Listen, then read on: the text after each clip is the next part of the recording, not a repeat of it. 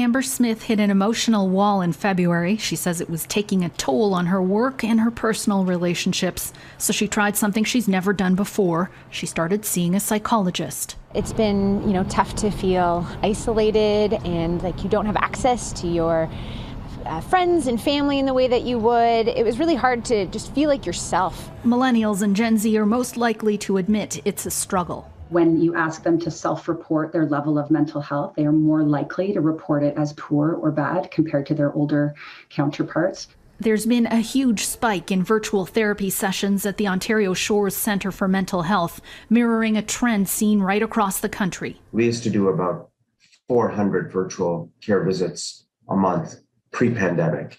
And we are now doing anywhere between uh, 4,000 and 6,000 virtual care visits uh, a month.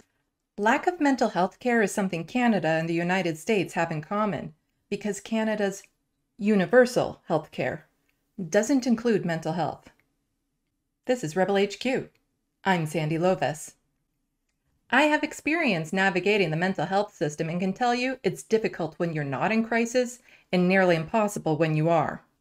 That was before the pandemic, during COVID, it's only gotten worse. People were put under more financial stress. There's the constant fear of losing loved ones or catching it yourself. Folks in unhealthy relationships were forced to spend more time together, and many people lost their jobs and homes. All of this caused a massive surge of people in need of professional therapists. And since our systems are designed to profit when there's high demand, there is never enough professionals to meet the needs of people to begin with. From the Washington Post. It has been difficult to find mental health counseling in much of the United States for years, long before the coronavirus pandemic began. But now, after two years of unrelenting stress, turmoil, and grief, many people seeking help are confronting a system at or beyond capacity, its inadequacy for this moment plainly exposed. It is even more difficult to find specialized care for children or those with lower income. Assistance of any kind is in short supply in rural areas, where all healthcare choices are more limited than they are for residents of cities and suburbia. Those hoping to find Black or Latino therapists face even more limited options. It's not like we can mass produce therapists in a factory. Yet, I'm sure Elon Musk is working on it. You need people interested in the profession, and it takes years to train them. And the people most likely to have access to that level of education are white and come from well to do backgrounds. We need more options. It's important to shop around for a therapist who best works with you.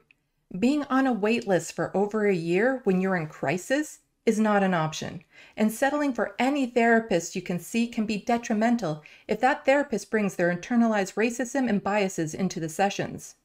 I'm queer, non binary, child free by choice, and polyamorous. If I sit down with a therapist and they have the bias of, what you need to do is get into a monogamous relationship with a man and raise a family. No, no, no, no, no. Not not helpful. Not helpful at all. No. Nuh-uh. Most therapists are trained with curriculum created by the same white, well-to-do folks who can afford to take the courses. We need therapists from different backgrounds, cultures, religions, identity, trained in ways that reflect who they are and what their lived experience is, so they can counsel people in ways that best resonate with them. But the biggest thing to keep in mind no amount of talk therapy will help if your mental health is in crisis because of material reasons, like the fear of losing your home or not being able to pay for basic needs. People with less suffer the most. For people living with poverty, finding the help they need, well, that's just not an option. A simple way for our countries to take pressure off the system would be to take pressure off people. A guaranteed livable income tied to the cost of living and can't be exploited by landlords and corporations. So, socialized housing and socialized transportation, electricity too. Grocery stores, that that would also be good and everything, just just socialize everything. That would be a good start, and it's possible to do now. Our governments are choosing not to. Support the people who support you and get them into office. If you want to see more of my stuff, you can look for me on social media as Left of the Box. Don't forget to hit buttons and leave comments. Thanks for watching, and until next time, get informed, get involved.